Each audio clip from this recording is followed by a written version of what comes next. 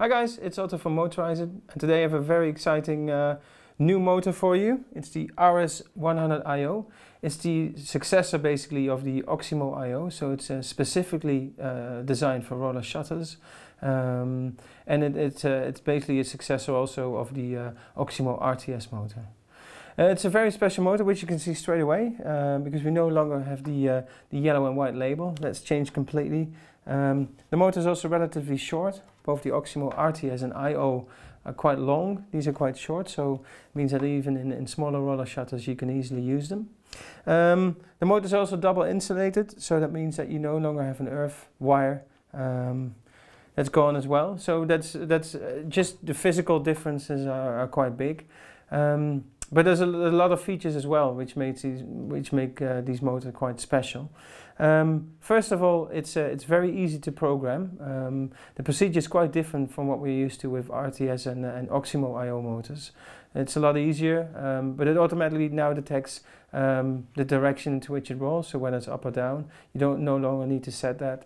The my position is set automatically during the procedure, um, and you have the choice between manual settings, which I prefer, uh, fully automatic or semi-automatic. And there's a fourth option as well, which is with the uh, IO set and go tool. Um, if you use that, you can basically change just about anything on your motor. So it's the direction in which it turns, the lower limit, the upper limit, um, even the speed at which it turns, because that's another special feature. Um, it's a very silent motor, um, and you have two speeds, uh, the regular speed, which is around 17 RPM, or the slower speed, which is around 12, and you can set that even lower. And for that you can use a set and go IO tool and you can basically set it to very slow or slow.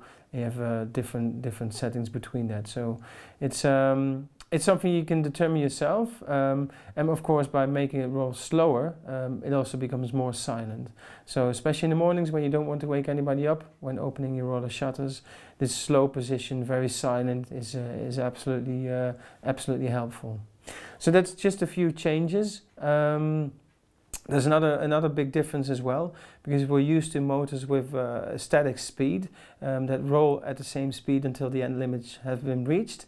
But this motor actually slows down. So when it's almost close to its opening, so fully opened or fully closed position, it will slow down just a little bit so it has a soft start and soft stop option, which actually extends the lifetime of the motor and also makes it even more silent. So there's no um, no hard shut or, or fully opening of the roller shutter, which always makes a lot of noise. So again, um, it's, it's very silent um, and a lot of features, which is why Somfy calls it a smart and smooth operator, basically uh, saying that it's a, it's a, smart motor because of its features, but also uh, very smooth in ease of use and, um, and the level of noise it makes. Um, so it's a, it's a very interesting motor and it's, uh, it's not that much more expensive than a regular IO motor, so there's about a 20 pound 20 euro difference between the Oximo IO um, and this version so it's it's very affordable um, especially if you if you value these features it's not a not a big difference to pay the range is, uh, is limited at the moment, uh, availability as well. There's only a few select partners and countries where it's available. Um, of course, we ship internationally, so if you're interested, do let me know. Um, but in terms of, of, uh, of uh, the different versions that are available, we have a 6 10 and 50 newton meter version available at the moment. The 20 newton meter version will uh, be available in the first quarter of 2016. The 40 newton meter, so for very large roller shutters, will only be available at the end of 2016. So there's a, there's a bit of time uh, left uh, before that will be introduced. Um, so uh, yeah, we have uh, quite a few roller shutters that can be used with this uh, with this motor. So if you want to automate them, uh, um, you can definitely use the RS100. If you have bigger ones, uh, you do need to go for the Oximo IO, but you can mix and match as you need um, to to get everything in IO, for example.